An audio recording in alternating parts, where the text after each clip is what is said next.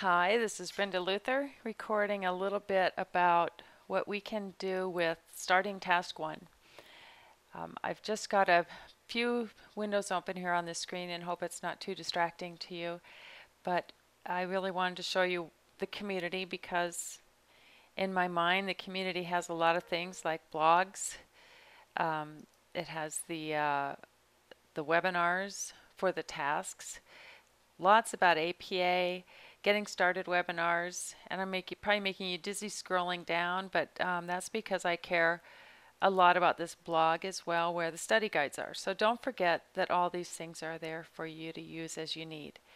But let's get to really what I wanted to show you, which is um, kind of a, a, a vision of what you're going to see as a Word document. I've simply taken the task instructions from that study guide where I showed you they were loaded in those community blogs. I've taken all of my notes out of here and um, all the comments and put it together. So A1, I've, I've formatted it so it looks like a paper that you're really going to write and start with. So this is kind of what I see it look like. A1A, they want the citation of, of the piece of evidence you're going to use for part A. Um, and so we have a, I've made a graphic that you can use. You can certainly um, use this very graphic, take out all my comments and put in your article citation, take my comments out, put in your review of their background of literature. Um, again, take the comments out and put in your review of their review of literature, put their methods, data analysis, their conclusions. And then um, analysis of these five areas, you can just use this document to uh, start writing about it, whatever you want to say. That was just gibberish that I'm saying because I'm recording and I can't multitask, so I can't type and record at the same time, I guess. I've also formatted this document so when so that the matrix is in landscape and your content is in um, portrait. That sometimes helps people and you can you know take my comments out of here. I would not submit this with my comments in it because they'll think well what are they doing? Just submitting Brenda's study guide. I would you could use them in here, but you could put Smith and Jones. You found the the journal from um, CINAHL. It was published in 2012. You just tell what it is. I show you this example because this matrix, you're you're inputting that brief of knowledge about the matrix. Remember the matrix and the annotation are the two major tools that we use in evidence-based practice because we have to have some way to remember these 10 pieces of evidence. You can't remember uh, one article from the next after just three articles. So the matrix gives us a skeletal view of when it was published, where it's published, who the authors were, what kind of research they did, who their sample was, what were their major outcome variables they measured, what were their key findings, and what were their conclusions. Um, notice in this one I made this up, but I um, their key findings were that they were timing nurses. They were ticking off how many times people in the ICU washed their hands when appropriate, and when they didn't wash it, they would say, you know, oh, they didn't wash it appropriately. What was going on? And they recorded that, and then they made a conclusion about it. And you know what they found is that when someone was interrupted during care, they missed hand washing. Then um, in the comment section just why is that important to you? Well, whatever the knowledge is you learned, but you know, I extrapolated that the effects of interruption uh, is new knowledge and, and is valuable to us. So you just skeletally review each article and put them in each of these boxes. Then if then I would go to the annotation and do the annotation for this exact article. So the annotation, annotated style is to put a full APA citation followed by a paragraph of summary of why the article is important to your topic. Um, just summarize the article briefly. You don't have to summarize anything that you put in the annotation. So you don't have to summarize what journal it came from, what year it is, uh, what their outcomes were. You probably are going to summarize more talking about this information. What was learned new? And why is it important to the topic. So you don't have to put details in the in the matrix that you're going to include in the annotation. so that's what I would do for all 10 pieces of your research. Just get it scrubbed out skeletally in the matrix and then go down and write your summary annotation. Get your next article, come back up to the matrix, put it in there, and then put it in the um, annotation. And you notice this is just a word table that I did insert word table. If you want to put more rows below, you just select insert rows below and you'll get three more rows for three more articles. You want to select add some more, insert rows below. And you inserted too many, you can highlight them, delete rows. Pretty manageable. So that's a good way to start. That way you have your 10 pieces of research scrubbed and in your head. You've got them skeletally outlined and you've got them flushed out in a narrative why they're important. Then you can start thinking of these, this group of evidence that you look at by either using your graphic or your annotations. You can think of them as one big group of knowledge to you. You've put 10 pieces together. They might have similar uh, components, they may have dissimilar components. You're going to think about, you know, what did this knowledge bring to you? And that's where you can start on answering the last portions of the task. So look at the task study guide and um, you see I have a lot of the similar stuff. Now we're going to compare and contrast all these articles as a group of evidence. And B3B is your first um, section where you talk about them as a group. The word efficacy can really mean a lot of different things, but here it really means did these researchers make a case for you? Did these 10 pieces of evidence make a case? Um, do you uh, do you have an idea of what you want to bring to practice? What did their recommendations make sense to you? You can also look at broad credibility as uh, credibility issues of evidence as a group or an individually as a piece of evidence, and maybe some articles are more valuable to you than others. Um, that's all a good conversation in here because the end all question you ask yourself is I've scrubbed through searching evidence. Now I've brought 10, 10 of them together. Do they give me enough knowledge? Am I confident in that knowledge to make a practice change? You don't have to have um, rocket science here. Just say, what did I look at? Has an overall, did they make a case? Um, so call out, you know, that maybe a group of them had similar recommendations, or one of them maybe had a disparate recommendation while it's not discounting, maybe it's adding to, or maybe it does discount. And, and how are you going to rectify that in your mind? Then um, we want to move into the next section. The next two sections are on tools or instruments that researchers use to collect variables. That's simply what tools are. It's how we measure the variables. Um, in obesity, we would do a lot. We have a lot of different tools to measure obesity. We have scales, we have MRIs, we have doubly labeled water, we have MRI, uh, we have self-report, height and weight, and we calculate a BMI. They all have different accuracy. They have different uh, burden on the research participants. They have different costs.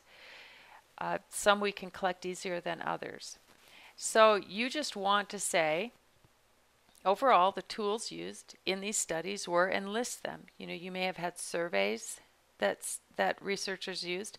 They may have uh, used similar surveys. Like if you had studies in stress and coping, there's a great stress and coping survey. Well, there's a couple of them, I guess, and some of them are the same, some of them are similar, some of them are different.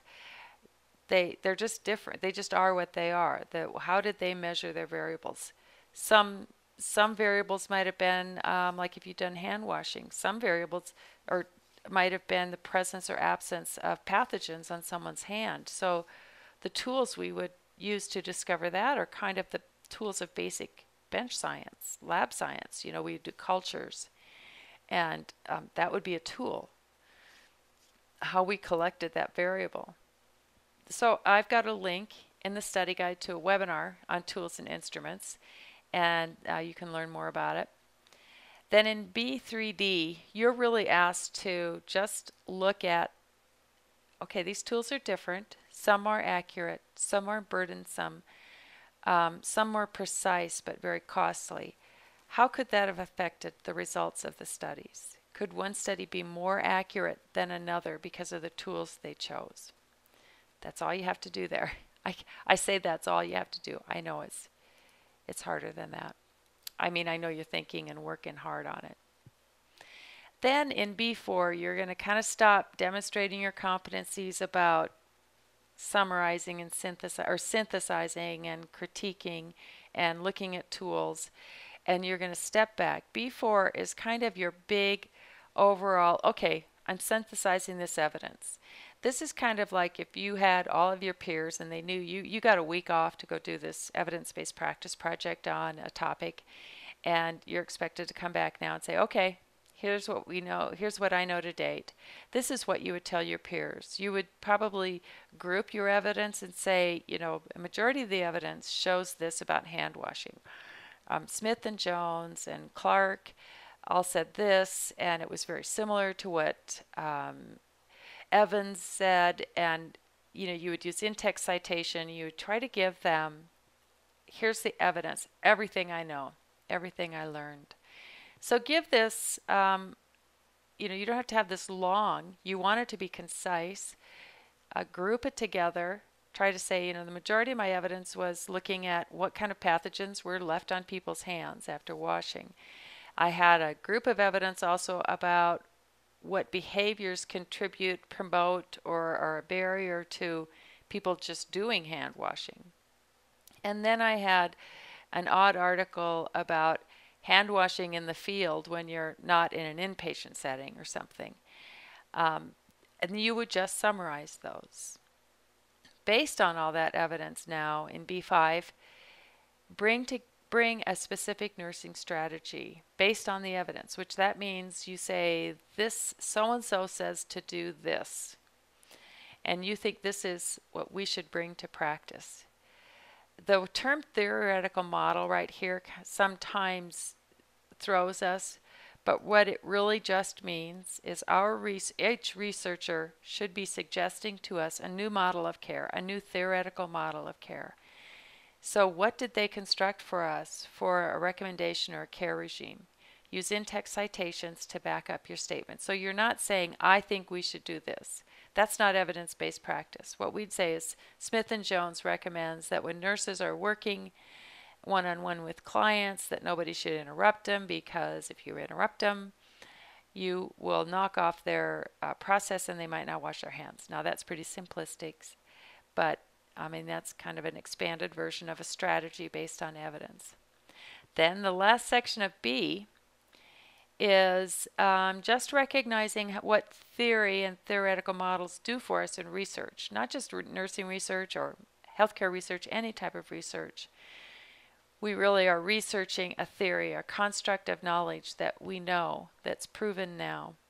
So Houser can help you understand what theory does for research, and I give you a few hints in here as well. And um, basically, you know, theories are frameworks, and frameworks help us anticipate what's going to happen. We all live uh, or we function off of theories. You know, in nursing, we function off of theories every day. We function off of germ theory, we function off of developmental theory, we function off of a lot of biophysical theories of disease processes and body systems. Uh, we thought we function off of cognitive theories and learning theories. And we muddle those all together every time we interact with a client or even every time we interact with each other. So uh, don't let the word theory scare you and this and um, you know look in Houser if you're worried about what to respond to here, but you can just give a general uh, statement, uh, statements, a paragraph about paragraph or two about why theory is valuable to research. And don't forget, even though you've put these in-text citations in your annotation, you're still going to give this paper a reference list, which I'm going to flip back to my formatted paper example. And, um, you know, I have the example of the references. So I would delete all this and put my reference list here. you know, reference, ref, all headers are kind of center justified, so you would do that. Now, that started on B2. Isn't that odd? We should have probably just started the task there.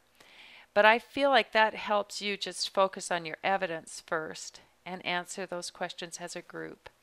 Then you have to go back and fill in the other places, all these other sections. So B1 is identification of your nursing problem. And as I said in the study guide, you've probably looked at that. Uh, B1 is just simply about you stating your the reason you are collecting this evidence. What's your problem statement that's driving the reason you went into search? So uh, you've read 10 articles and those art those authors have given you great examples of a problem statement in their in their background, their introductions, their review of literature. They've they've kind of said, you know, what's the case for this problem? Why do we need to address this problem? Use citations to say it. If you investigated something about childhood obesity, great to have a citation telling the prevalence of childhood obesity.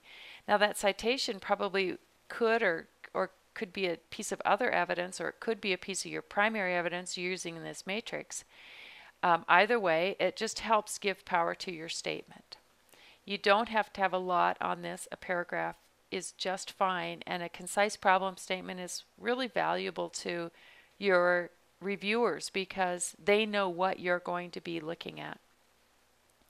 So get that problem statement in there and then jump up back to A. And in A, part A, you are really reviewing just one piece of primary original evidence on your topic. And you're doing it in detail and you're demonstrating some competencies about knowing that a research report has different sections. They have typically a background section or it's an introduction. They have a review of literature. They have methodology. They have data analysis or results. Some uh, articles call it results. And conclusion or discussion. So when you look at your one article, you want to tell the reviewer clearly what that article is. So just put it in that graph. I'll go back to my paper example. Just put it, place your APA citation in there. Then review what did they do in their purpose statement or their background their abstract. How did they present? You know, this whole problem. A background and a review of literature, but really the background introduction part, that's really where they engage you. And they, you know, tell you as much information as they can. So does you know when they introduced it did did it feel like you were reading on the topic have you ever read an article when the title drew you in and you're reading the introduction and then you get into it and it's not on your topic at all. It really wasn't what you were thinking it said. Well, that kind of says a lot. It's like, did, were they clear to you or did was it your misunderstanding or was was their problem maybe not detailed enough to be really clear and engaging? Um, that's all you have to assess in there, and you can do it right within this box. Then the review of literature. Be sure you know what part of the article is the review of literature versus the other parts. You don't have to say, you don't have to quote everything that was in their review of literature. You just have to say it. You know, did they give you enough to understand the variables they were going to study or the phenomenon they were going to study? Did they use a lot of citation? Did they use a lot of primary research? How many articles did they use? What did they what kind of groups of topics did they tell you about? Then in the methodology you want to identify whatever they told you um, they should tell you what their methods were, what their study methods were. They might not always be really clear, and they might say words that don't make sense to you. You can certainly, at that point in time, use Houser. Um, Houser's a great text to use, and I'm flashing Houser up here quickly. But you know, if somebody said they did a, a correlational study, I always spell correlational wrong you can just uh, search in all chapters or all results about what correlations mean. Or you can look in the table of contents. Um, researches that measure, you know, maybe it's maybe it's in quantitative research designs. Um, so use Houser, use your text to help you find out what methodologies are. I've got to get back to my formatted document. And that's all you're telling in this section. Did they do a quantitative or qualitative? Remember, you know, go back to um, this the webinars where I talk about reading abstracts and understanding studies and go to Houser. What is qualitative and quantitative? You know, those are the two major paradigms of research. Research is either one or the other typically. And then they usually describe more. Now, and as I've said, the quantitative researchers are kind of uh, brazen in the fact that they just think that's all the research there is, and so that that um, you know it's quantitative. So they don't usually say we did a quantitative randomized clinical controlled trial or something. Qualitative researchers are less assuming, and so they typically tell you we did a qualitative research on this. Then the data analysis is just simply how did those researchers analyze their data? They should explain to you, they should have a data analysis or a, a data procedures section where they tell you, you know, we used a uh, chi-square analysis, whatever. You don't have to know what that is. You just have to know it's a statistical data analysis process. And then what are their conclusions? Do they make sense to you? You don't necessarily have to answer that makes sense to you up there, but what overall are their conclusions? Uh, it paraphrased in your own words. What are the researchers' conclusions? In A3, you're going to analyze these five areas. And so you can briefly go back over and say, you know, the, the background was of interest to me, the type of, title was appropriate, it drew me in, um, or it was inaccurate, or whatever you felt. The review of the literature was concise and, and had topics about um, childhood obesity, feeding practices, physical activity in school, things like that. Their methodology, they did a quantitative, descriptive study, and their data analysis, they you know analyzed with a, um, a SPSS package. They'll tell you all that stuff in the articles. And then you discuss any ethical issues that could have arisen from this research. And so you are challenged to say, you know, what what could what did happen, what what ethical issues came up if any were mentioned, what ethical processes did they mention? The researchers mentioned, and I talk about more ethics in the study guide, so I'll flip to that. Um, you know, did you note any ethical issues? Um, did they protect? Did they mention IRB or informed consent? And oftentimes, a review of the author's ethical issues is cut from publication for word count. So sometimes they just get briefly to say we got IRB approval, or sometimes they don't say it, they just assume. So you just assess what you see and what you think. Then they want you to talk about the type of research. So you definitely want to take your type of research into Houser and you can say, well, qualitative descriptive studies are like this, or Randomized control trials are like this, and you can cite Houser. Tell, uh, demonstrate to the reviewer you know what this, what it means, um, and then they want you to say whether another another type of research might be appropriate. Here's a great time to lean back on your 10 articles. You have 10 articles on similar topics, not always the same questions or hypotheses, but similar. So you can look at how someone else might have ha did research this research these research questions. So that can be a great example. And you can say, you know, it, it appeared appropriate to use this type of study, um, but here is another way. It may be more costly, it may be more burdensome, or you may see something that just alarms to you and you say, they should have done it this way. Just say that. Let the reviewer see that you know what a type of research is, and you could frame or design another method of studying that same research. And guess what? We're down to B1, and that's all of task one. So I am going to stop this recording and hope that um, I'm helping things and not confusing things. Please um, call or email. Thanks. Bye.